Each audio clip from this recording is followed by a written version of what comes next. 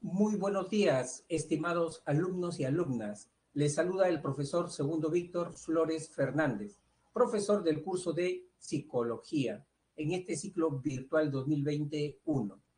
El día de hoy vamos a abordar el tema sobre afectividad y emociones. Este es un tema que es bastante álgido, ¿no? Porque son experiencias y vivencias que pasamos y afrontamos todos los días. Este, ¿Qué es lo más difícil en las emociones, alumnos? Lo más difícil es eh, gestionar los asaltos emocionales, ¿no? Cuando te invade, por ejemplo, la ansiedad, cuando te invade el miedo, ¿qué haces frente a eso? ¿No? Miedo al examen, miedo a la mala nota, miedo a no ingresar, ¿no? Cuando te asalta la cólera, ¿no? La rabia, la molestia. ¿Qué haces cuando, cuando estás frente a esa situación? Miren, acá, por ejemplo, hay una estrategia y parte de, una, de, un, de cuentito, de una anécdota, ¿no? Dice que eh, cierto día un papá estaba paseando a su bebé en un cochecito por el parque de su casa. Y el niño estaba que lloraba desconsoladamente. Entonces, el papá, ¿qué cosa hacía? Dice que murmuraba bien bajito, ¿no? Con un tono de voz bien bajito y decía, Tranquilo, Ronaldo. Relájate, Ronaldo, relájate, tranquilo, tranquilo. Todo va a ir muy bien. vas a ver, esto tiene que pasar, esto va a pasar. Relájate, cálmate, cálmate, por favor, ¿no? Y dice que por ahí pasaba una mujer, ¿no? Y al escuchar cómo le hablaba el papá, ¿no? Se acercó y le dijo, Señor, usted es una persona admirable. ¿Cómo puede hablarle tan suavemente a un niño tan perturbado, le dice, realmente es admirable lo que usted está haciendo, ¿no? Y la mujer se acercó al cochecito, se inclinó para cogerlo al bebito y le dijo, a ver, Ronaldo, le dijo, ¿cuál es el problema? ¿Por qué tanto lloriqueo? ¿No? Y entonces el papá se sorprendió y le dijo, oh no, señora, Ronaldo, él no es Ronaldo, él es Enrique. Ronaldo soy yo, dice, ¿no? ¿Qué había pasado? ¿No? Que el papá Ronaldo, cuando hablaba, se estaba hablando a sí mismo, se hablaba a sí mismo. Es decir, para controlar su molestia, su incomodidad, su enojo por el lloriqueo de su hijo, se estaba hablando a sí mismo. Y esta es una muy buena estrategia para controlar los asaltos emocionales, ¿no? Cuidar tu diálogo interno. Cuando tú tienes miedo, ¿qué cosa te dices? No vas a poder, ¿no? Eres tonto, ¿no? Siempre te salen las cosas mal, ¿no? Ese diálogo, esa vocecita interna que siempre aparece, que incrementa tu miedo, que incrementa tu ansiedad, de eso tienes que darte cuenta, de eso tienes que darte cuenta. Eh, cuando tienes cólera, molestia, ya tienes ese diálogo interno, ¿no? Este, siempre se aprovechan de ti, no te respetan, ¿no? Están cometiendo una injusticia contigo y tú te sientes víctima de eso y te agarra la cólera, la rabia y quieres destruir, quieres golpear, quieres confrontar, ¿no? O sea, hay que darnos cuenta de ese diálogo interno que tenemos cuando nos asaltan las emociones. Ahora, por eso es que vamos a abordar el tema de la afectividad y, las emociones. Bien, ya con esa introducción, chicos, empezamos con nuestro tema. ¿Qué vamos a abordar acá? La definición de afectividad, los procesos emocionales, la cognición y emoción, ¿no? Eh, la expresión de las emociones, clase de emociones y finalmente la afectividad y bienestar personal con el manejo de las emociones. Empezamos primero por el término afectividad. Afectividad se refiere a un conjunto de reacciones este, que nos conmueven, que nos estremecen. Mira, nosotros tenemos diferentes tipos de conductas, ¿no? Pero hay un tipo de conducta donde tú tienes que identificar de repente un objeto, ¿no? Ver si el fluorescente está prendido, está apagado, ¿no? No te perturba eso, lo haces lo más frío posible, ¿no? Lo más objetivo posible. Sin embargo, hay otro tipo de reacciones en donde eh, nos conmueve cuando participamos de esas reacciones. Esas reacciones tienen que ver con las reacciones afectivas, ¿no? Por ejemplo, una buena noticia, una mala noticia, eso te conmueve inmediatamente y, participas con una conmoción dentro de tu cuerpo, ¿no? Eh, por eso dice que la afectividad, ¿no? Eh, es la manera como uno reacciona íntimamente, ¿no? Íntimamente. Reacciona siempre con un fondo hedónico. Tiene que ver con agrado o desagrado, ¿no? Frente a una situación. Ahí estás reaccionando ya afectivamente. Cuando tú sientes placer o displacer, estás reaccionando afectivamente. Y no solamente eh, eh, con este fondo hedónico, también la reacción afectiva tiene que ver con una intensidad. Es decir, eh, esa reacción o es bien alta, hay una excitación, o es bien baja, hay una relajación. Por ejemplo, miren chicos, cuando tú sientes alegría, la alegría en su estado alto de excitación, ¿cómo le llamarías a la alegría? Cuando tú sientes alegría, pero es una alegría eh, intensa, ¿cómo le llamarías? A ver. Emoción. Claro, eh, la categoría es emoción, muy bien, Carla, pero en sí, a, esa alegría, ¿cómo le llamarías cuando tú sientes, ah, está muy bien, Juan José Raigada? Eso se llama inteligencia emocional, Juan José Raigada, cuando tú rápido identificas qué cosa experimentas, ¿no? Cuando tú experimentas. Cuando tú tienes miedo y es un miedo intenso, fuerte, ¿cómo le llamarías ese miedo? Fobia. Muy bien, Carla, pero ¿sabes qué? La fobia es miedo, pero patológico. No, un miedo eh, sano, pero intenso. La fobia es patológico. Muy bien, Geraldine Cindero, pánico, pánico, muy bien, excelente. Ahora, si ese miedo es chiquitito, bajito, menudo, ¿cómo le llamarías? Pequeñito. O sea, lo tienes, pero no te perturba. Lo tienes ahí, pero no te perturba. Lo puedes manejar. ¿Cómo le llamarías? Miedito. miedito, miedito. Puede ser temor, pero hay más, algo más bajito, Juan José Raigada, incertidumbre, por ejemplo, ¿no? Desconfianza, ¿no? Es, son miedos eh, de menor intensidad. Y así, todas las emociones tienen estos, estos criterios, chicos, ¿no? La cólera, en su máxima expresión, furia, en su mínima eh, expresión, la cólera, ¿no? Puede ser de repente molestia, estoy molesto, ¿no? Un poco molesto. Ahora, la afectividad se expresa de diferentes maneras. ¿Cuáles son las reacciones afectivas? Ahí tenemos emociones, sentimientos, estado de ánimo y pasiones. Y nosotros las vivimos, chicos. Ustedes han experimentado o están experimentando estas cuatro reacciones afectivas. ¿Cómo las diferenciamos? Esto es muy importante. ¿Cómo las diferenciamos? Empezamos por la primera, a diferenciarla. Cuando yo digo que siento una emoción, como decía ahí Carla, ¿no? Este, cuando yo siento una emoción, para que tú digas que sientas una emoción, esa emoción tiene que ser eh, eh, perceptible, ¿no? La emoción siempre es de aparición súbita, ¿no? Aparición súbita. Siempre hay un estímulo que la provoca a la emoción. Viene un perro bravo, te da miedo, te da miedo inmediatamente, ¿no? O te da cólera porque te quiere morder ese perro, ¿no? Te da cólera. Este, siempre es súbita y siempre aparece ante un estímulo la emoción. Ahora, la emoción es intensa, te conmueve, ¿no? Participa todo tu cuerpo de esa emoción, ¿no? Por eso que dice que tiene un componente corporal gestual alto, componente corporal gestual alto, es intensa la emoción, ¿no?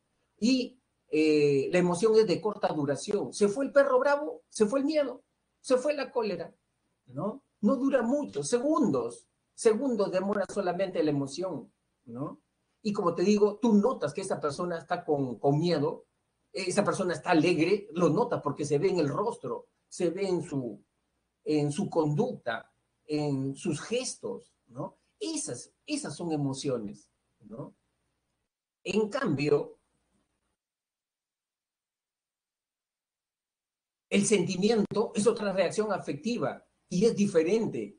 En el sentimiento ya no tiene un componente corporal gestual, fisiológico, sino hay un componente cognitivo, predomina el componente cognitivo. ¿Cuándo surge un sentimiento? Cuando yo hago una valoración, cuando yo hago una evaluación, veo un niño en la calle, ¿qué cosa digo? Pobrecito, porque los papás lo mandan a, pedir limosna, tendrá algo que comer cuando llegue a casa, ¿no? Y comienzo a pensar, ¿no?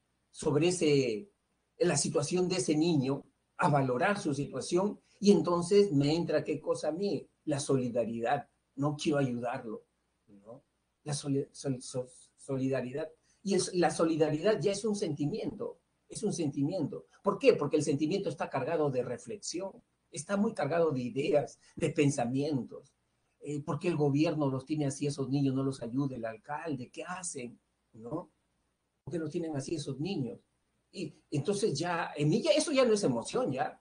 O sea, ahí es un sentimiento que yo estoy teniendo, ¿no? Por eso que, por ejemplo, sentimientos, por ejemplo, la nobleza, la generosidad, esos, esos son sentimientos. La gratitud, cuando yo digo no me puedo portar así con mi papá, ¿no? A veces me molesta, pero no me puedo portar así con mi papá, ¿no? Yo le debo mucho a mi papá. Ya, eso es un sentimiento, eso es un sentimiento.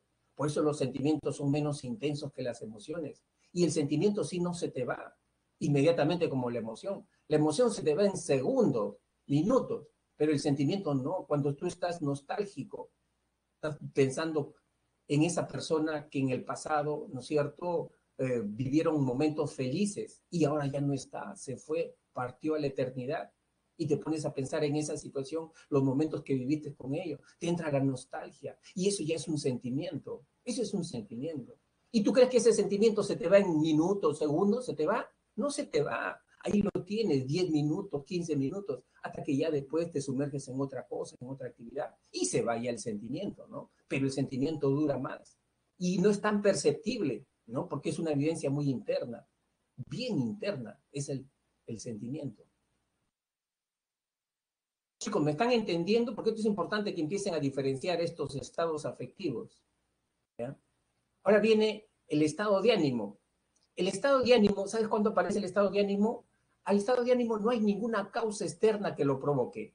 El estado de ánimo siempre tiene que ver con los niveles de energía de las personas. Niveles de energía.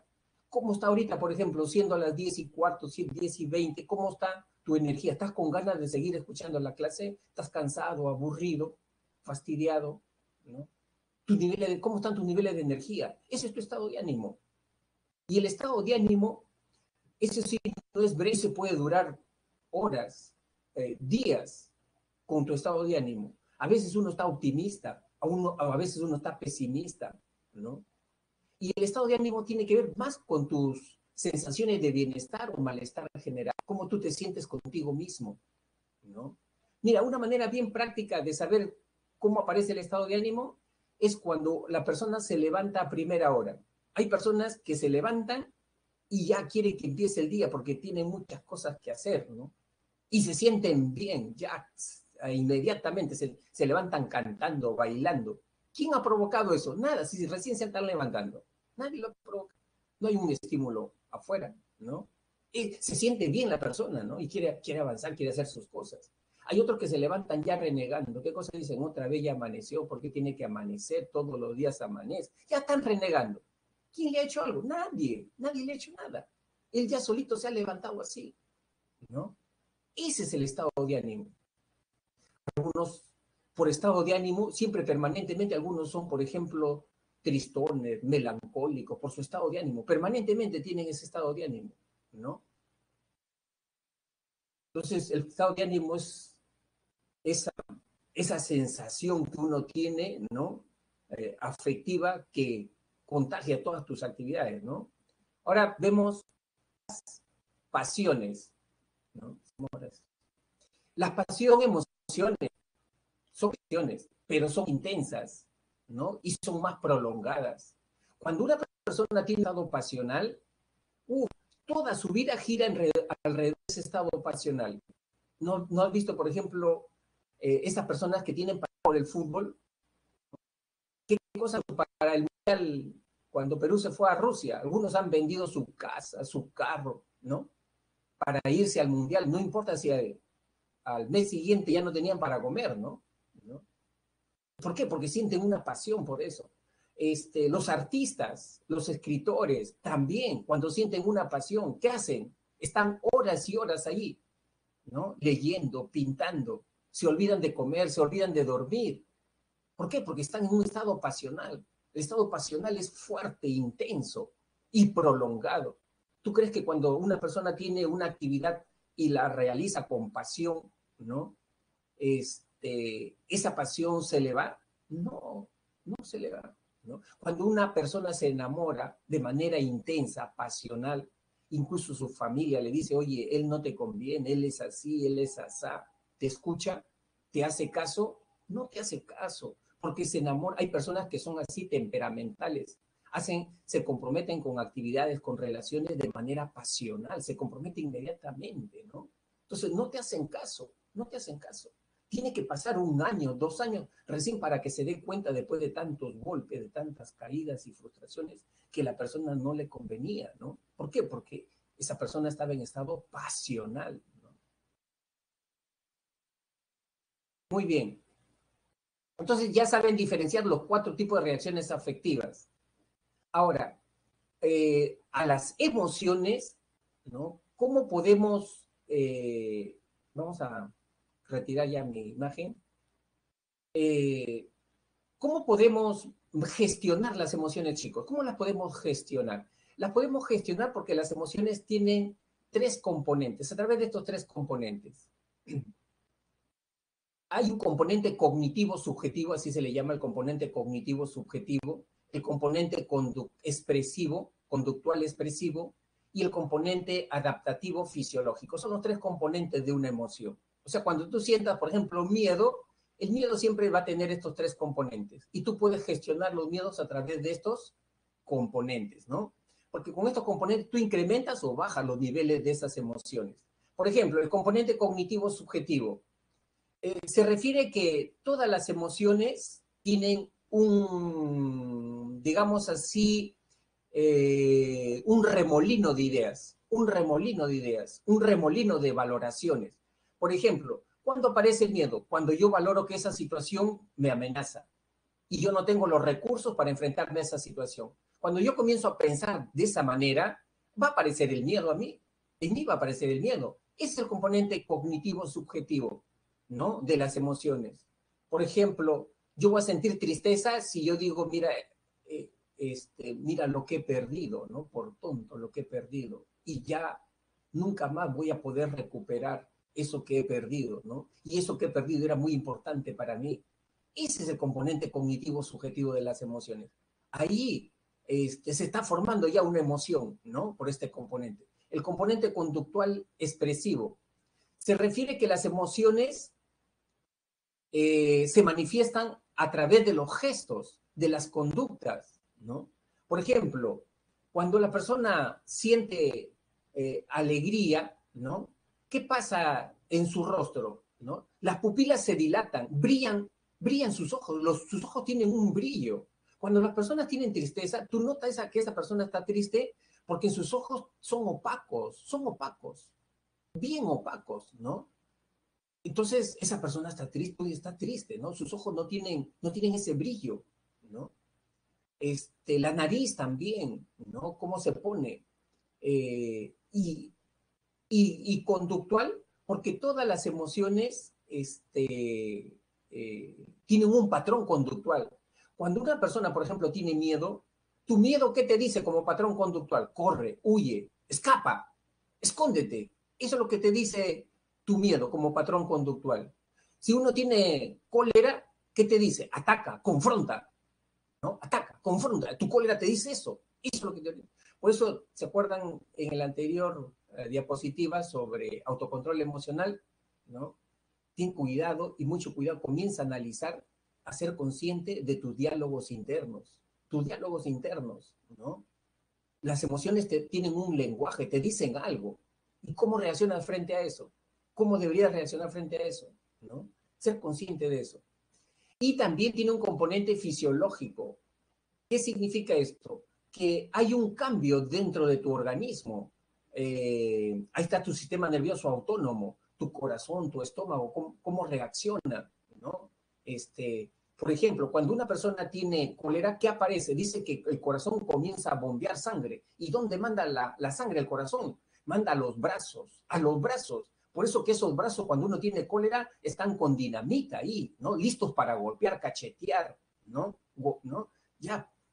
¿Por qué? Porque eh, las emociones eh, son unos dispositivos, ¿no? Eh, unas programaciones fisiológicas que por la evolución de nuestra especie nos preparan para determinadas situaciones. Son programas biológicos las emociones, ¿no? Cuando uno tiene miedo, ¿qué pasa cuando uno tiene miedo? El corazón comienza a bombear sangre, saca sangre donde no tenga y la manda a las piernas, a los pies. ¿Y por qué a las piernas, a los pies? Para que estés listo para correr, para que puedas estar listo para huir del peligro, ¿no? Y mira cómo es este, esa función que tienen las emociones de adaptación, de sobrevivencia. Si tú tienes miedo, ¿no? Porque de repente alguien te está siguiendo, ¿no? Tú comienzas a correr este, y no te cansas, sigues corriendo, no te cansas, ¿no? Incluso te puedes doblar un poquito la, ¿no? Este, el pie y no sientes dolor, no sientes dolor, ¿no? Eh, porque es tu miedo, es la adrenalina que tienes en tu cuerpo. Incluso te puedes cortar el pie y no sale sangre, no sale sangre, ¿no? ¿Por qué? Porque la emoción te ha diseñado ya, nos ha diseñado a nosotros para sobrevivir, ¿no? Para sobrevivir y no prestarle atención a eso hasta que pase el peligro. Una vez que ha pasado el peligro, recién ahí ya te das cuenta del, del dolor, de la sangre que sale, ¿no? Esa es la función que tienen, ¿no? Y justamente cuando uno tiene una emoción muy fuerte y perturbadora en su corazón, en su cuerpo, aparecen las las enfermedades psicosomáticas, pues, ¿no es cierto? O sea, esa persona, por ejemplo, que tiene cólera reprimida, no, es, no sabe expresar su cólera, ¿qué aparece ahí? La gastritis. Ya tiene gastritis esa persona. ¿Por qué? Porque no sabe gestionar su cólera. No sabe gestionar su cólera. Esa persona que siempre tiene miedo, su corazón ahí oprimido, ¿no? Con taquicardia siempre, con arritmias, ¿no? Porque no sabe gestionar el miedo. Entonces, a eso se refiere, chicos. Eh, ahora, en el cerebro, ¿cómo es que se procesan las emociones? ¿Cómo se procesan las... Ahí ustedes tienen que ver que tenemos tres estructuras básicas importantes en la vivencia y en la gestión emocional, ¿ya? En la vivencia y en el control emocional. Empezamos primero, por ejemplo, cuando tú sientes alegría, ¿qué pasa cuando tú sientes alegría? tú te vuelves expansivo, te vuelves expansivo, ¿no? ¿En qué sentido expansivo? ¿No? Quieres abrazar, quieres comunicar tu alegría, ¿no? Eh, tus ojos son vivaces, te brillan los ojos, la expresión es sonriente, ¿no? Eh, eh, ahí está, se está activando el sistema nervioso autónomo, ¿no? El sistema nervioso autónomo se activa inmediatamente, ¿no? Esto que enerva todos los, los órganos internos, corazón, riñones, pulmones, estómago, ¿no? Con su rama simpática y rama parasimpática, ¿no? Este, eh, cuando uno siente emoción, también se activa el sistema límbico, ¿no? Que es el cerebro emocional, ¿no? Acuérdate de la amígdala. ¿Por qué sientes alegría, tristeza, miedo? Porque tienes amígdala cerebral. Si no tuvieras esa amígdala, te la cortan, tú serías una persona sin emociones, sin preferencias, sin iniciativas. Donde te sientan ahí te quedas, ¿no? No tendrías ganas de ir a comer, de ir al baño. No tenía esa sensación de agrado ni de desagrado, ¿no? Pero la amígdala te da toda esa, esa vivencia emocional, tristeza, miedo, cólera, ¿no? Ahí tenemos también el tálamo, ¿no? Donde ah, el tálamo recibe la información y el tálamo manda esa información o bien a la corteza o bien al sistema límbico para que se procese inmediatamente. El hipocampo, que tiene que ver con la memoria, ¿no? Los recuerdos emocionales. Por ejemplo, el hipocampo te dice, mira, la vez pasada que tú estabas subiendo escaleras, te caíste por subir corriendo, ¿no? Y te caíste tú en la escalera de tu colegio, ¿no? En el segundo piso. Ahí fue. El hipocampo te da información contextual sobre recuerdos emocionales, ¿no? Información contextual. ¿Dónde fue? ¿Cómo fue? ¿No? Por ejemplo, cuando tú abrazaste por año nuevo, ¿no?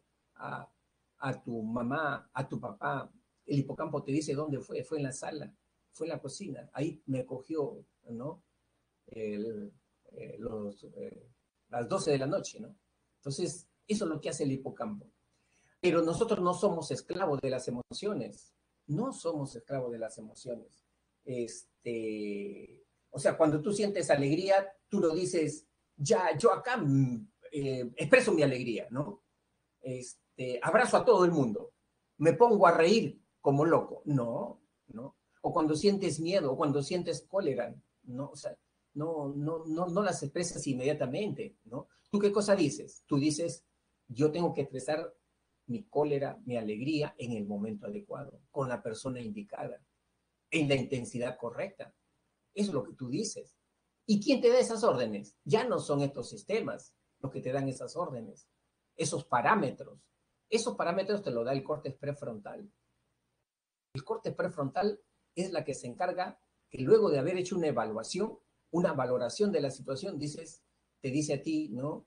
Eh, eh, de esta manera tienes que expresar tu, tu, miedo, ¿no? De esta manera tienes que expresar tu cólera. Entonces, eso es lo que hace el córtex prefrontal. Es esa parte del cerebro, el área más evolucionada que tenemos, ¿no? Por esto que nosotros somos Homo sapiens, ¿no? Somos, dicen chicos que las vías nerviosas que unen el córtex prefrontal con todo el sistema límbico para el control de las emociones se van madurando generalmente en la adolescencia si el adolescente a los 15, 16, 17 años no ha hecho ejercicio de manejo y gestión emocional, especialmente lo que hablamos nosotros, los asaltos emocionales, el pánico, la cólera, ¿no? Si no ha hecho ejercicio, es una etapa crítica la adolescencia. Ya después de adulto, 30, 35 años, es bien difícil ya, más difícil, ¿no? O sea, tiene que recibir terapia ya para que haga un manejo emocional, ¿no? Entonces, eh, eh, en la etapa en la que ustedes se encuentran, es donde ahí ustedes tienen que hacer metacognición sobre sus asaltos emocionales, ¿no? Conocerlas. ¿Qué, cosas te dice esa emoción? Y tú no eres esa emoción, tienes que distanciarte de esa emoción, ¿no? No te sientas tú como que estás eh, dirigido por esa emoción, ¿no? Tú eres más que esa emoción, ¿no? Más bien entiéndela, compréndela esa emoción. Si tú la entiendes, la comprendes, tu miedo, ¿qué te dice? Escapa, huye, corre, siempre te va a decir eso. Es el único consejo que te dice el miedo. Pero tú dices, no, o sea, de repente hay otra alternativa frente a esa situación. No, no, es, no puede ser la única alternativa escaparme, correrme, esconderme, ¿no? Porque el miedo te dice eso, ¿no? Entonces tú comienzas a reflexionar con tu miedo y comienzas a manejarlo tu miedo, comienzas a manejarlo, ¿no? Y ya no te perturba tanto, no te perturba tanto. Igual sucede con la cólera. ¿Quién hace toda esa gestión? El corte prefrontal. ¿De acuerdo? Corte prefrontal. Chicos, ¿me van entendiendo? De repente estoy hablando como loco yo. A ver, ¿se está entendiendo? Jessy Jara, sí. Daniela Ibáñez, sí, dice. Eso es lo importante, que se vaya entendiendo, ¿no? Entonces, este,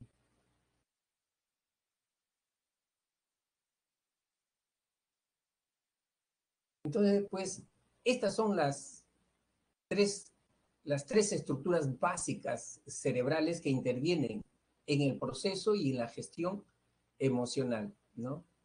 Proceso y gestión emocional. Ahora, miren, para entender a las emociones, este, hay dos, eh, dos teorías, ¿no? Hay dos teorías en psicología. Eh, una es la teoría cognitiva que está eh, acá, esta es la teoría cognitiva de las emociones que está en su cuadernillo como cognición y emoción, ¿no? Este...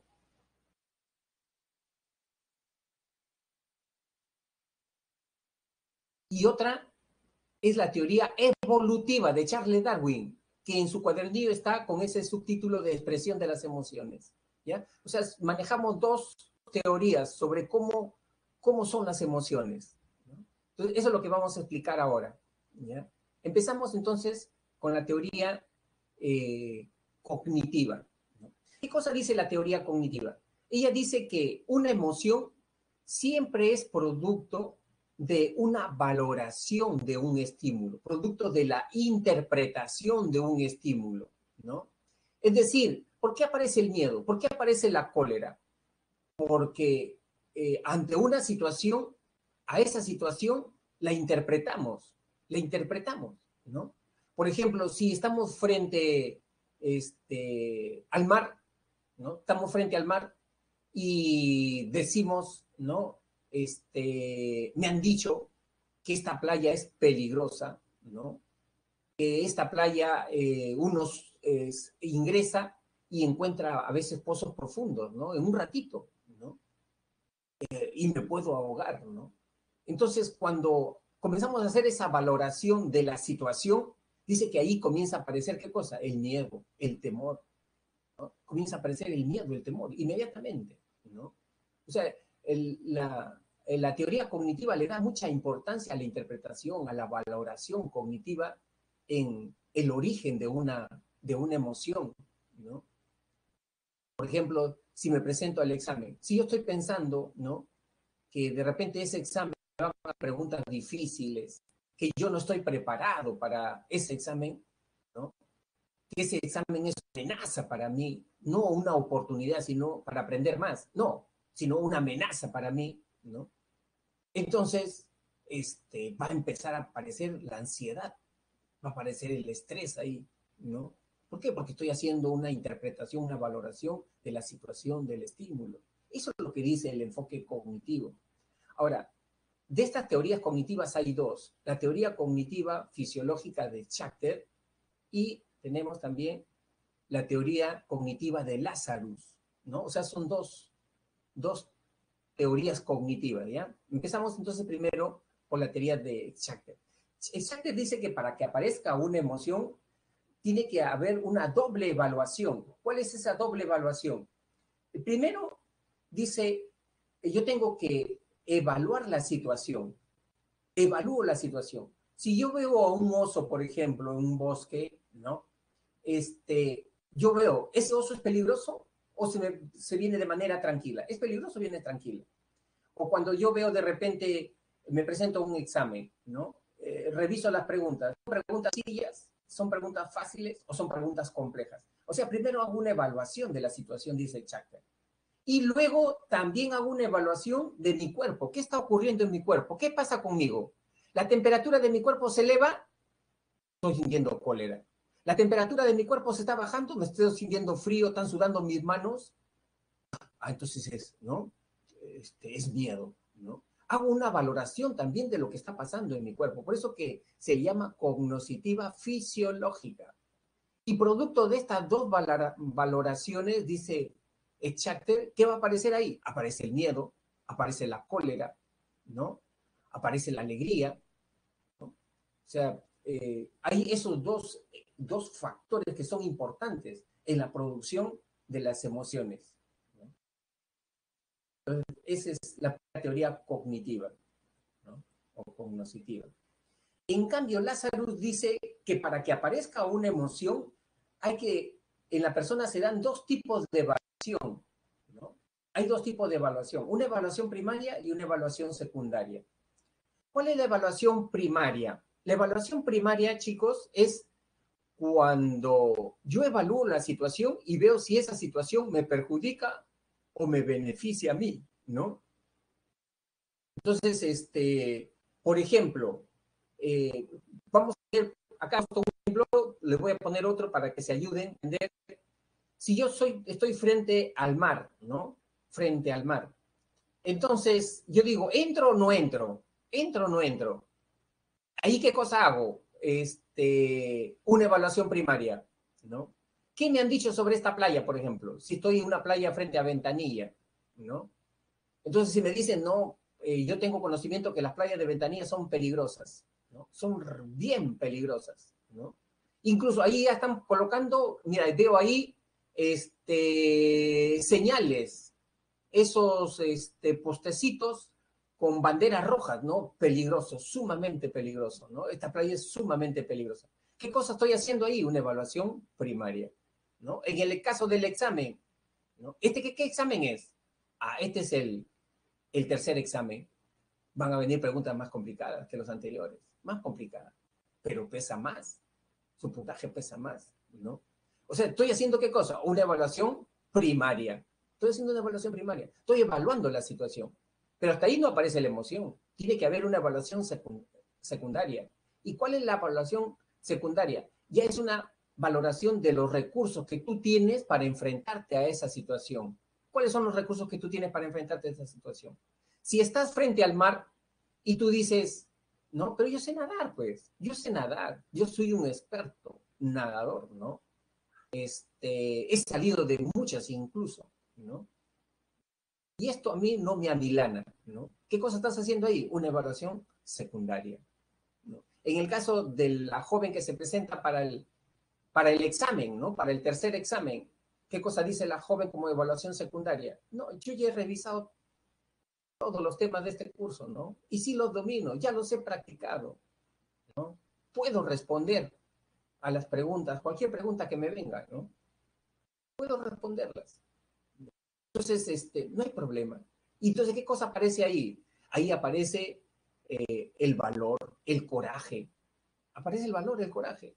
Pero si uno dice, no, no he estudiado, no me he preparado, recién he empezado a estudiar con fuerza en la última semana ya para el examen, ¿no? ¿Cómo no estudié antes, ¿no? Tercer examen van a venir preguntas más complicadas. Entonces ahí ya qué aparece? Aparece la ansiedad, pues, ya aparece la ansiedad, aparece el miedo, aparece el estrés, ¿no? Eso es lo que dice eh, Lazarus, ¿no? Este, para la producción de, de las, de las emociones. Eh, ¿Está claro, chicos? ¿Alguna duda? Vamos a ver cómo estamos. Porque siempre preguntan sobre esto.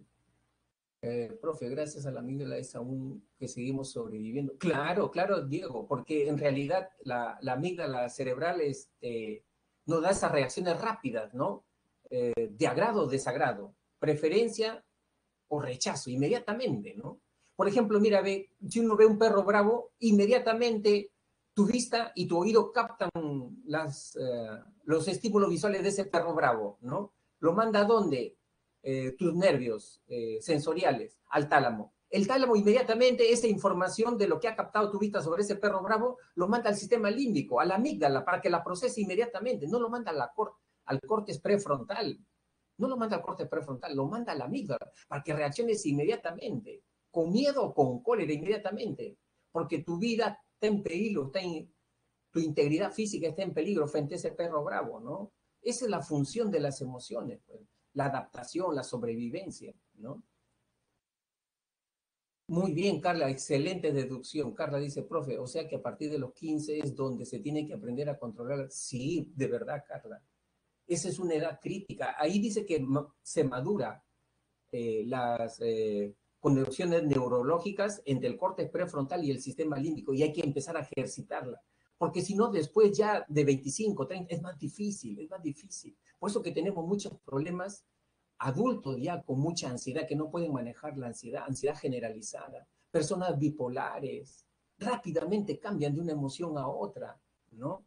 están alegres y en menos de 10 minutos, 15 minutos, están tristes, ¿no? Están tristes, porque no han ejercitado esa gestión de las emociones. Bien, seguimos, seguimos. Ahora, esta es la teoría eh, evolutiva de Charles Darwin. Charles Darwin nos dio dos ideas interesantes, ¿no? ¿Cuáles son esas dos ideas interesantes sobre las emociones que ya los asumimos todos los psicólogos? que las emociones tienen una finalidad adaptativa, ¿no? No tienen una finalidad adaptativa. Este, nos permiten la sobrevivencia, ¿no? Nos permiten la sobrevivencia eh, de nuestra especie, ¿no? Eh, eh, si no tuviéramos emociones, no podríamos vivir ni siquiera 24 minutos, ni siquiera 24 minutos, ¿no? Este, ni 24 horas, no podríamos vivir, ¿no? Porque el miedo eh, nos hace prudentes, por ejemplo, ¿no? Para cruzar una pista, no decimos inmediatamente ya la cruzo, ¿no? Aparece tu miedo. ¿Cómo aparece tu miedo? Como prudencia, ¿no? Después de ese carro rojo cruzo, antes no, me, mata ese carro, ¿no? O sea, eh, las emociones no son buenas ni malas, sino son funcionales, chicos. No, no, no, no, no vayas a decir el miedo es malo, negativo, la cólera es mala, negativa. No, tienen una finalidad eso, ¿no? tiene una finalidad. Entonces, este, eso es lo que nos dijo Charles Darwin. Ahora, su discípulo Paul Ekman encontró que los seres humanos tenemos las mismas emociones básicas, ¿no? Independientemente de nuestra cultura. Por ejemplo, este, los chinos, los rusos, ¿no? Nosotros, latinos, peruanos, tenemos las mismas emociones, ¿no? No nos diferenciamos de ellos, ¿no? Un alemán siente cólera, ¿no? Eh, un chipivo siente miedo, igual que esas otras personas de esas otras culturas, ¿no? Entonces Paul eso hizo investigaciones culturales y encontró que para cada emoción hay una expresión que es típica, ¿no? Siempre hay una expresión que es típica para cada emoción y eso se da en todas las culturas, ¿no? Hay un lenguaje de las emociones, hay un lenguaje de las emociones. Este, por ejemplo, tú te puedes dar cuenta, por ejemplo, cuando una persona te está engañando, ¿no? Si, si lo miras a la cara, si escuchas el tono de voz de esa persona, ¿no? Eh, tú te das cuenta, te podrías dar cuenta cuando una persona te engaña. ¿En qué, ¿En qué te das cuenta tú, a ver, eh, estimado alumno, cuando una persona te está engañando? ¿Te das cuenta? Por la conducta, Ítalo. ¿En qué te fijas? ¿En qué te...? Sí, porque siempre manda, el mentiroso siempre manda señales, siempre manda señales el mentiroso. Así sea mentiroso profesional, ¿no? Su tono de voz, ¿no? Correcto, Oscar, su tono de voz, ¿no? Es importante darte cuenta del tono de voz que está empleando, la mirada también, ¿no? Este, a veces hay algunos que no saben mentir, se ríen inmediatamente, esos son mentirosos eh, eh, que, no, ¿no? que se ríen inmediatamente, ¿no? Ya tú te das cuenta que están mintiendo, pero hay mentirosos profesionales, hay mentirosos psicópatas que te miran mirándote al ojo, te, te miran así directamente a los ojos y te están mintiendo, ¿no? Te están mintiendo. Claro, Oscar, ¿no? El impostor, el estafador, ¿no? Esos te miran de frente y aparentemente no se perturba, ¿no? Pero si tú agudizas más la observación, sí puedes detectar a un mentiroso, agudizando más la, la, la observación, ¿no? Dice que el mentiroso de todas maneras manda señales, aunque sea profesional, ¿no? Siempre el mentiroso tiene un tic, ¿no? Por ejemplo, se coge el mentón, se coge la nariz, se coge el aro de su dedo. O sea, siempre, eh, es, como no está diciendo algo auténtico, si no está manipulando, siempre tiene un tic nervioso, aunque sea pequeñito, pero tiene un tic nervioso y tú tienes que darte cuenta de ese tic nervioso, ¿no? Ese es el mentiroso profesional. Y Paul Ekman fue un estudioso de esas reacciones, por eso que él comenzó a capacitar en Estados Unidos a jueces y a policías para detectar a mentirosos, ¿no? En base a la expresión gestual. Ahora, la teoría evolutiva habla de dos tipos de emociones. Emociones primarias, que son emociones innatas, con esas nacemos. Con esas emociones son pocas las emociones primarias y tenemos las emociones sociales y secundarias, que son emociones aprendidas. Las emociones primarias que compartimos este, con todos los seres humanos, incluso con los mamíferos también, con el perro, el gato, la rata, tienen estas emociones básicas. La alegría, el asco, la tristeza, la sorpresa, el miedo, ¿no? Y la cólera. Esas son las seis emociones básicas, chicos, que tenemos todos, ¿no? ¿El perro, el perro siente asco? Sí. ¿El perro siente tristeza? Sí. ¿Y por qué compartimos con los mamíferos? Porque tenemos el mismo cerebro emocional. El perro también tiene sistema límbico, nosotros también tenemos sistema límbico. Eso no lo sabía Charles Darwin porque la neurología no estaba avanzada en su tiempo, ahora lo sabemos. Pero él magistralmente encontró que teníamos esas similitudes, porque comenzó a estudiar las expresiones de algunos animales y las comparó con las del ser humano y encontró que habían similitudes en esas expresiones gestuales. Encontró similitudes. Y las emociones sociales o secundarias son emociones aprendidas, nosotros ya no hemos nacido sintiendo vergüenza, eso lo hemos aprendido, porque de repente hemos tenido padres muy rígidos, muy represivos, ¿no? Este, igual, sintiendo culpa, ¿no? Siempre nos señalaban a nosotros, siempre nos criticaban a nosotros, ¿no? Entonces el sentimiento de culpa es muy fuerte ya en, en mí, ¿no? ¿Y eso por qué? Porque lo he aprendido, porque he tenido modelos muy duros contra mí, Y ya se ha instalado dentro de mí una vocecita que siempre que hago algo, esa vocecita, que no es mía, sino es de mi papá, que me está diciendo ya, no vas a poder, te va a salir mal, ¿no? Entonces, siempre es bueno darse cuenta del diálogo interno que tenemos, darte cuenta, ¿no? Pero esas son ya emociones sociales, son algo aprendido, el orgullo, el amor. Miren chicos, hay personas que les cuesta trabajo dar amor, dar cariño. Tú le vas a dar un abrazo se sienten como caballos salvajes, se hacen para atrás. ¿Por qué? Porque desde pequeñitos nadie los ha abrazado, nadie les ha dado un besito, ¿no? Entonces, les cuesta trabajo sentir y expresar ternura. ¿Por qué? Porque esas son emociones sociales, son aprendidas, son aprendidas, ¿no? Los celos, la envidia, ¿ya? Ahora, ¿cómo manejar nuestros estados emocionales? Lo que estamos hablando, ¿no? Acá estamos recogiendo la teoría de Daniel Goleman sobre la inteligencia emocional.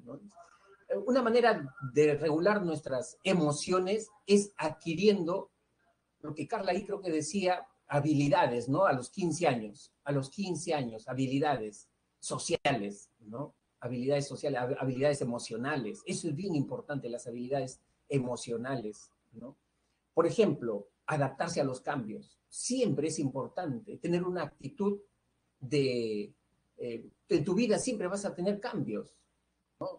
Cambios sorpresivos, un familiar que se te muere, ¿no es cierto? Esta situación que estamos enfrentando del encierro, chicos, nunca nos había pasado en nuestra vida, ¿no? Por el coronavirus, ¿no? O sea, tienes que ver cómo te organizas, cómo haces tu rutina ya en tu casa, ¿no? cómo haces un balance entre tus obligaciones y también tu momento de diversión encerrado en tu casa para enfrentar esta nueva situación, ¿no? Entonces, esa, tu capacidad de ser flexible, ser flexible ante los cambios, ¿no? E, eso es importante como control emocional. El autodominio, no ser impulsivo, no la primera idea que se te ocurra inmediatamente hacerla, ¿no? Sino hacer pausas, hacer pausas ante un estímulo una expresión de un amigo que te ha ofendido, de repente te sientes ofendido, ver cómo poder eh, eh, responder frente a esa ofensa, ¿no? Y si es el momento oportuno para responder, ¿no? eso se le llama, lo que acá han puesto pues a nuestro entrenador, ¿no? Este, luego también confiabilidad. La confiabilidad, chicos, es este, ser una persona íntegra, coherente. O sea, nosotros tenemos que tener una unidad de criterio entre lo que pensamos, lo que sentimos y lo que hacemos. Si yo digo quiero ingresar ¿no? a la universidad y me voy a preparar para ingresar, entonces tengo que mentalizarme, ¿no? ¿Qué tengo que estudiar? ¿no? Tengo que motivarme, tengo que motivarme. ¿no? Tiene que gustarme el estudio y tengo que estudiar tengo que dedicar horas al estudio, tengo que separar mi tiempo para el estudio, tengo que tener una unidad de criterios. Esa es una manera de gestionar tus emociones, pues, ¿no es cierto? Coherencia. Y que Daniel Polem le, le, llamó a eso, a lo que nosotros acá le llamamos coherencia, integridad, confiabilidad, le llamó él, ¿no? Y lo otro también que es importante, ¿no? Este, la innovación. La innovación significa aportar, crear cosas nuevas, ¿no? Antes no sabías cómo estudiar, ahora ya sabes cómo estudiar. Te has dado cuenta de eso, que tienes que innovar en tu forma de estudiar. Si no, no la haces, no la haces. Que tienes que cambiar en tus hábitos de estudio, en tus rutinas diarias, que antes en el colegio de repente te levantabas tarde, ¿no? ¿Por qué? Porque tu colegio estaba cerca, ¿no? Ahora necesitas más tiempo para procesar información. Tienes que renovarte, cambiarte inmediatamente tus técnicas de procesamiento de información, tienes que cambiarlas también, hacerlas más metacognitivas. Eso se llama innovación. Entonces, ahí estás regulando tus estados emocionales. Y la escrupulosidad se refiere, chicos, a este, hacerte responsable de tus actos. No justificarte. Este, me saqué mala nota porque vinieron preguntas difíciles, ¿no? Eh, el profesor me tiene cólera, ¿no? Eh, llegué tarde porque mi mamá este, no me hizo el desayuno temprano, ¿no? ¿Qué cosa estás haciendo ahí? Buscando pretextos para no asumir la responsabilidad de tu vida y de tus propias emociones, ¿no? Con ese criterio, entonces dices, para poder cambiar yo, para no llegar tarde, primero mi mamá se tiene que levantar temprano, ¿no? Entonces, si tu mamá no se levanta temprano, siempre vas a llegar tarde. Y siempre te vas a justificar así. Entonces, no estás haciendo una buena gestión de tus emociones. Hay que asumir la responsabilidad de nuestros actos, de nuestra conducta, eso es lo que dice Daniel Golema, ¿no? Y bueno, empezamos ya con los ejercicios, chicos, aplicando ya sus conocimientos. Dice, Jimena es una bióloga que forma parte de las investigaciones científicas, a diferencia de todos los científicos, ella disfruta de dichas actividades, realizándolas con deleite y ocupa la mayor parte de su tiempo investigando sobre biología, incluso fuera de su horario de trabajo. El tipo de proceso afectivo en Jimena se denomina, a ver, vamos a ver cómo, cómo está, ya contestaron por acá, ¿no? La D, muy bien, Jesse, Diego, Daniela, la D, perfecto, ¿no? Es una pasión, pues, es una emoción intensa y prolongada, ¿no? Y la vive, ¿no? Y contamina todos los aspectos de su vida, la pasión. Dos, Joana vio en las noticias el asalto de una joyería donde ella mandó a hacer una sortija. Cuando a la semana siguiente tuvo que ir a recoger su pedido, al ver asomarse a un sujeto que buscaba algo en su bolsillo, inmediatamente sintió que su corazón palpitaba rápidamente, pero al darse cuenta que era un proveedor que sacaba una boleta de venta, se calmó y pensó que no tendría que haber reaccionado así. Las estructuras del sistema nervioso vinculados al estado afectivo que ha experimentado Joana son el, puntos suspensivos, ¿no? El y puntos suspensivos respectivamente. ¿Cuál sería, pues, chicos? Acuérdense, primero, reacción del sistema nervioso eh, autónomo, ¿no? Autónomo, eh, latido de corazón. ¿Quién interviene ahí? Primero. Y después dice, no es para tanto, no es para tanto. No es para tanto, después dice, no es para tanto, ¿no? ¿Quién interviene ahí? ¿Cuál sería la respuesta ahí? A ver, quiero ver. Esto sí le está pidiendo pensar un poquito. Ya. Ahí pues, ya no, para no demorarnos, porque ya no nos alcanza mucho tiempo, la D. El hipotálamo, pues, regula todo el sistema nervioso autónomo. Y el corte prefrontal regula el sistema nervioso, al sistema límbico, ¿no? Que está ahí el hipotálamo y al sistema autónomo. Luego tenemos la tercera. Eh, un señor que estaba paseando en un parque junto a su familia observó que la policía de tránsito estaba recibiendo una coima por parte de un chofer. Él se enojó mucho y estuvo a punto de gritar en plena calle para avergonzar a ese policía, pero luego pensó que no era lo más adecuado estando frente a su familia. El caso ilustra la actitud emocional denominada, ¿qué cosa pasa ahí? De las, eh, de las cinco habilidades emocionales de Daniel Goleman. ¿Cuál sería acá se manifiesta. A ver, chicos, la, a ver, ya, ya respondieron, ¿no? Ya respondieron. La B, autodominio. Muy bien, Luigi. Jesse, Ítalo, muy bien, Daniela. Excelente, autodominio. Muy bien. Ya, ya ves, se entiende. Y la última secuencia, eh, la encuesta, pues la bendita encuesta, ¿no? Iniciar encuesta. Ahí está. ¿Qué te pareció la explicación de la clase de hoy día? ¿no? Cinco alternativas. A, excelente, B, bueno, C, regular, D, malo y E, deficiente. Con confianza, chicos, ¿no? Evalúen siempre a su profesor, ¿no? Entonces, traten de participar todos, ¿no? Siempre es bueno recibir su opinión, ¿no? Para siempre nosotros también estar regulándonos con respecto a nuestras clases. Bien, entonces les agradezco, ¿no? Por su atención el día de, de hoy y ya será pues hasta la próxima semana. ¿ya? Muchísimas gracias. Un abrazo a cada uno de ustedes. Hasta la siguiente semana.